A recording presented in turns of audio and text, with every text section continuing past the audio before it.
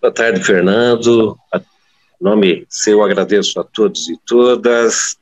Felizmente, se tratando do Covid aqui na roça, em casa, sorte é essa que milhões de brasileiros e brasileiras não tiveram, aos quais, nesse momento, presto toda a solidariedade e a nossa força.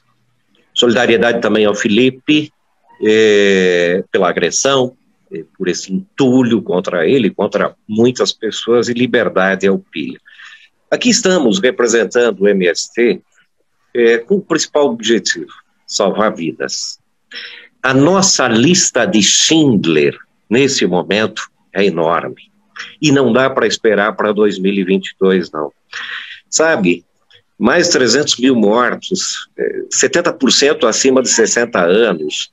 É, se fôssemos considerar que cada um ganha um salário mínimo, são mais de 200 mil milhões por mês, são mais de 2,7 bilhões por ano, são mais de 27 bilhões em 10 anos, é uma reforma da Previdência às avessas, mas isso tem nome. É eugenia, é genocídio, é necropolítica. Por isso, CPI sim, já, mas mais que isso, vacina, auxílio emergencial, e nós achamos que é necessário fora Bolsonaro urgente.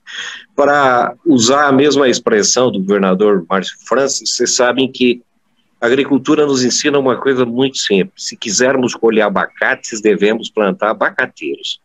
Portanto, se nós quisermos solidariedade, é preciso plantar solidariedade. Se nós quisermos vida, é preciso plantar vida. E para plantar vida nesse momento, é preciso tirar esse assassino. Eu queria concluir dizendo o seguinte, Fernando e demais companheiros e companheiras. Vocês sabem que eventualmente Cerrado pega fogo naturalmente. E uma das funções, e não é o fogo criminoso, mas uma das funções do fogo no Cerrado é quebrar a dormência das sementes para precipitar a germinação das novas plantas. É o momento de nós fervermos um panelão de água fervente para quebrar a dormência de muitas consciências nesse país.